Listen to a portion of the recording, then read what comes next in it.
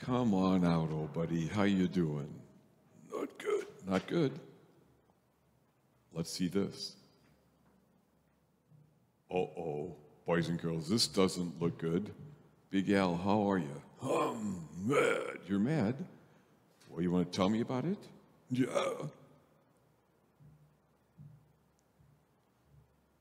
Okay, that's not fair. Mhm. Can I tell him that part? Boys and girls, somebody was not kind to Big Al. They made fun of him, and others laughed. And so, your plan with that is to do what, Big Al? Clobber. Clobber. hmm And you think that's going to help? It'll help me. It'll help you feel better. No, it'll help you feel better. I'm going to argue that. I don't think it will, be, Al. Well, you might think.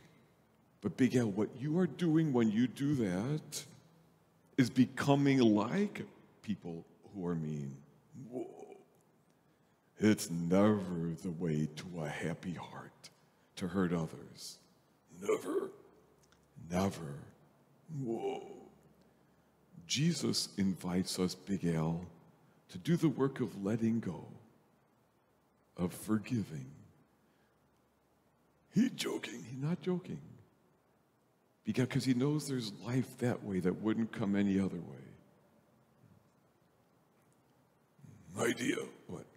First clobber, then forgive. First clobber and then forgive. Mm-hmm. That's not how it works, Big Al. Mm-hmm.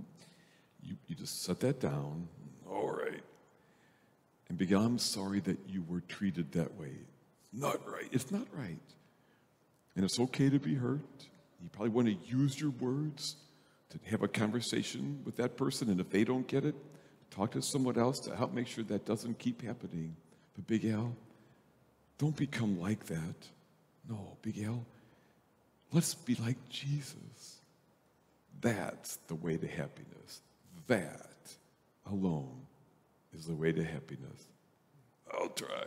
Bye. And boys and girls, if anybody has ever made fun of you or hurt you or picked on you, I am so sorry.